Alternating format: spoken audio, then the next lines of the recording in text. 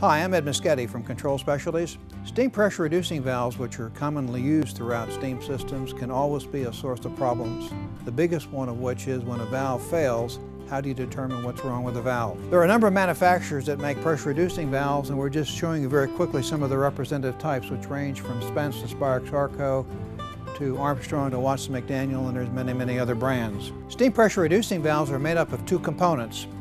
A pilot valve, which is the brains of the valve and really determines when the valve is to be open and closed, and then the main valve itself, which is essentially the amplifier which delivers the large volumes of steam required of a pressure reducing valve. Let's take a few minutes and show you a quick technique on troubleshooting a diaphragm operated pressure reducing valve.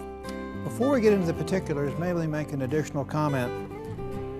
Two items that should always be installed ahead of every pressure reducing valve are a pipeline strainer to keep rust and trash and so on out of the valve because you've got small passages inside there. And you should always install a drip trap of every pressure reducing valve, again to prevent condensation from getting inside the valve, which again will create rust and trash and debris which will cause the valve to fail.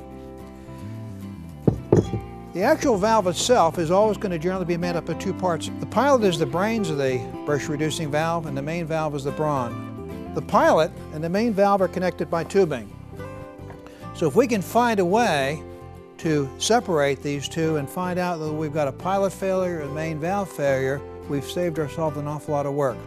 The first thing you need to do is turn off the supply steam valve, shut off any valves downstream, and make sure that you bleed off all the pressure because we're going to actually get inside this valve and see what's going on. So we certainly don't want to damage or hurt ourselves by live steam burning us. You want to then take the adjustment on the pilot and turn it up so this spring is completely loose and relaxed. And then take a wrench and let's remove the copper tubing. Now I've cheated here and already loosened these up, so I'm going to pull it off. Doing this, what we've done now is actually separated these two pieces of equipment which allow us to see whether we've got a main valve problem or we've got a pilot problem. What you want to then do is make sure that there's no tension on the pilot spring itself. Open up the steam valve a small amount and allow steam to repressurize the valve. If the main valve has got a problem in terms of being failed open, we're going to see some steam actually probably quite a bit of it, blowing out of this balance port, which is going to be on the downstream side of the valve. If when you turn steam back on the valve and you see steam coming out of here, then we've got a main valve which is stuck open or maybe have some debris in it or has had some other mechanical failure, you know you need to go to that point. As far as the pilot's concerned, with no tension on the spring, we should see no steam flow coming out of these two ports. What we want to now do is turn the adjustment screws down on the pilot spring, which begins to compress it, and you'll see a large volume of steam pass out. Take the tension back off, the steam flow should shut off, and do that a number of times to make sure the pilot is not syncing or sequencing properly. You should see very little steam flow, literally less than a puff of cigarette smoke, coming out of here when this is shut off. Theoretically should see none.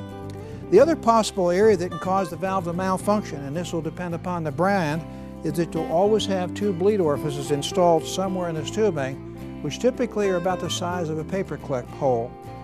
So you want to check those with a flashlight and make sure that those holes are clear. Paperclip is a great way to clear them out, make sure that they're clean. Make your repairs on the valve, put it back together again, and put it back in operation, and hopefully you've solved your problem. Thank you for your time.